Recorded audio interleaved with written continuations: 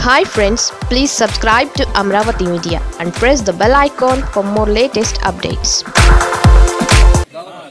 మీరు పంపించారా అతను రమ్మని చెప్పి అలాగే ఒకేసారి రెండు ఆటోలు పెడితే ఎట్లా డీలర్ ఎలా ఎలా కుదురుతుంది రెండైతే కష్టం అండి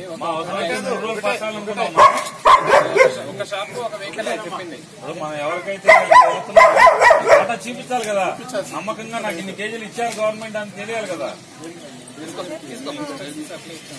ఏదో పంచి పెట్టారు ఎవరో దాత పంచి పెడితే వాళ్ళకి కాంటాక్ట్ కానీ గవర్నమెంట్ వాళ్ళకి హక్కు కదా. మనం చూపించాలి కదా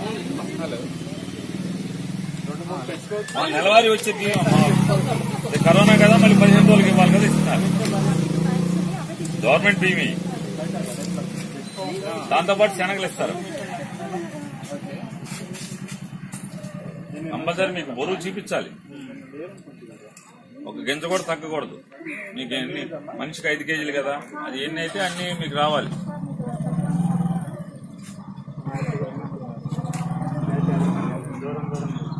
ఓకే.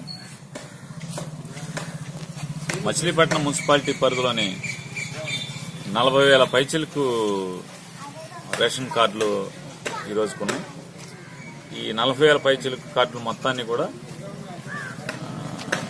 రైల్ బేసిస్గా మచిలీపట్నం మున్సిపాలిటీలో ప్రతి ఇంటికి కూడా రేషన్ని అందించేదానికి ఏదైతే జగన్ గారు ఆలోచన చేస్తున్నారో ఆలోచనని ట్రయల్ బేసిస్లో అండ్ మనం ఎలా ఉంటుంది చేస్తే సాధ్యమా అసాధ్యమా దీంట్లో లోటుపాట్లు ఏముంటాయి అనేది ముందే మనం చూసుకుంటాం కోసం మచిలీపట్నం మున్సిపాలిటీలో ఆర్డీఓ గారు తహసీల్దార్ గారు నేను ముగ్గురు అనుకుని మున్సిపల్ కమిషనర్ గారు. మేము నలుగురు మాట్లాడుకుని బందర్ టౌన్లో ట్రయల్గా దీన్ని స్టార్ట్ చేద్దామని చెప్పని ఇక్కడ మోడల్గా ఇక్కడ పెట్టాం. ఉదయం నుంచి ఆర్డీఓ గారు ఐదున్నరకే తహసీల్దార్ గారు ఆర్డీఓ గారు ఉదయం ఐదున్నర నుంచి డిపోల దగ్గర తిరుగుతూ స్టార్ట్ చేశారు. చూస్తే ఎక్కడా కూడా ఇబ్బందులు లేకుండా అంటే ఎక్కడైతే బియ్యాన్ని ఇంటికి చేస్తాం అక్కడ కాటా కూడా వారితో పాటు ఆ వెహికల్లో ఉంచుకుని కాటాకు తూచి వారి కళ్ళ ముందే ఒక కేజీ శనగలు అలాగే మనిషికి ఐదు కేజీలు చొప్పున రేషన్. ఇది ప్రభుత్వం ఇచ్చేటువంటి రేషన్ మొన్న ఉచితంగా కరోనా సందర్భంగా ప్రభుత్వం ఉచితంగా ఇస్తుంది. మొన్న ఇరవై ఆరో తారీఖున ఇరవై తొమ్మిదో తారీఖున ఒక రేషన్ ఇవ్వడం జరిగింది ఒక విడత.